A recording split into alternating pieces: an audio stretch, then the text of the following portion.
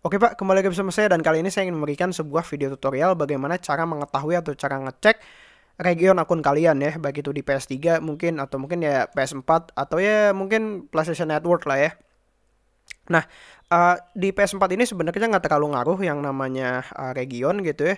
Untuk mesinnya ya, untuk mesinnya nggak ngaruh karena ya di PS4 memang nggak ada region lock gitu, beda kayak Nintendo Switch. Jadi di Nintendo Switch itu memang ada versi yang bebas atau versi yang uh, bisa lu bisa main game apa pun gitu ya, region mana pun dan ada versi Cina gitu. Jadi versi Cina ini ya agak sedikit restrict gitu. Jadi cuman apa cuman game-game yang dari Cina aja gitu atau mungkin bukan game dari Cina ya. Pokoknya game yang udah lulus lah gitu, lulus sensor mungkin.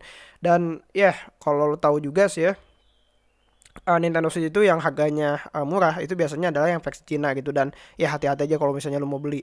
Tapi untuk PS4 gitu ya yang paling ngaruh adalah uh, dari region ya itu cuma ngaruh ke save sama ke DLC gitu. Jadi kalau beda save uh, itu nggak bisa dipakai dan kalau DLC nggak bisa dibeli gitu. Walaupun kalian bisa beli tapi nggak bisa muncul gitu untuk DLC-nya gitu. Dan kalau udah beli sih itu sayang banget ya. Dan ada juga memang beberapa game yang tidak peduli sama region gitu dalam tanda petik gitu ya tidak peduli. Contohnya kayak Persona 5 di sini Persona 5 saya itu region 1 ya untuk Blu-ray-nya.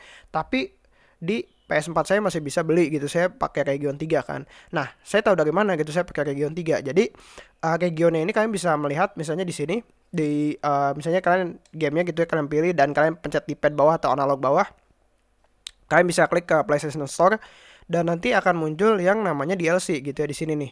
Nah, kalian bisa melihat dari mata uangnya karena di sini adalah rupiah gitu. Rupiah ini adalah termasuk region 3 ya setahu saya. Karena Asia Tenggara gitu kan. Contohnya mungkin Malaysia Singapura dan uh, yang lain-lainnya gitu. Nah untuk uh, region 2 Jepang ya kalau nggak salah Jepang itu beda gitu region 2 nya sama uh, region 2 Eropa setahu saya. Cuman nggak tahu juga sih Jepang apakah region 4 nggak tahu juga gitu. Tapi ya intinya beda sih ya untuk regionnya gitu. Atau mungkin kalau misalnya kalian uh, ke PlayStation Store gitu ya kalian bisa melihat juga akun kalian gitu untuk mata uangnya apa. Dan ya mungkin dari uh, mata uang untuk DLC-nya bisa beda mungkin mungkin ya. Kalian bisa klik ke chart ini gitu ya atau mungkin ke keranjang. Dan kalian bisa melihat di pojok kanan walaupun tulisannya agak kecil juga gitu ya itu ada tulisan RP gitu dan berapa wallet kalian. Walaupun wallet kalian nol ya intinya kalian bisa tahu gitu yang mata uang yang dipakai untuk akun kalian apa gitu kalau mungkin uh, dolar tapi bukan dolar Singapura ya uh, dolar atau mungkin dolar Australia gitu. Kalau misalnya dolar Amerika USD itu biasanya region satu ya untuk benua Amerika kayak Meksiko juga. Meksiko kayaknya region satu juga deh cuman saya nggak tahu juga karena saya cuman punya region tiga gitu untuk akunnya. Dan kalau mata uang kalian misalnya uh, Eropa atau mungkin uh, Turki ya Turki lira ya lira bukan sih namanya nggak tahu juga itu adalah region 2 gitu. Jadi uh, euro atau mungkin pound sterling mungkin atau yang ya pokoknya negara-negara di Eropa gitu yang mata uangnya gitu. Jadi kalian bisa melihat patokannya adalah dari mata uangnya.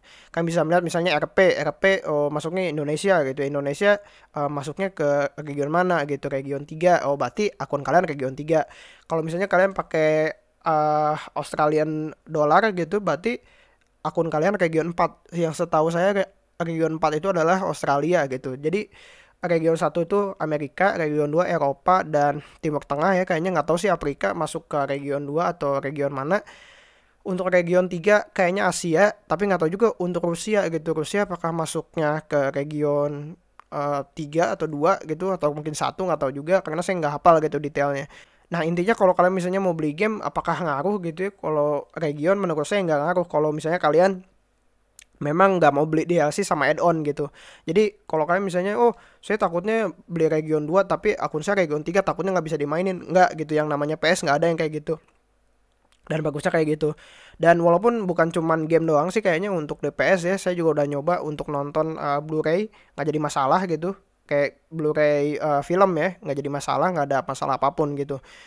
Dan uh, kalau kalian misalnya nggak peduli sama DLC, kalian nggak peduli sama head-on, dan mungkin kalian cuman punya satu game gitu kayak misalnya kayak gamenya ini cuma punya satu versi gitu kayak misalnya versi region 2 kalian bisa pakai save gamenya terus gitu. Kalau kalian misalnya tiba-tiba ganti ke region 3 ya kalian harus namatin lagi gitu untuk gamenya. Kalau kalian mau dapat uh, save game gitu save game yang uh, bagus atau mungkin kalian mau namatin lagi gitu dan harus namatin lagi karena nggak bisa dipakai gitu untuk save gamenya Dan ya kayaknya cukup uh, segitu doang sih untuk videonya mungkin agak sedikit ada pembahasannya juga. Cuman ya kalau agak sedikit pusing ya ya udahlah ya.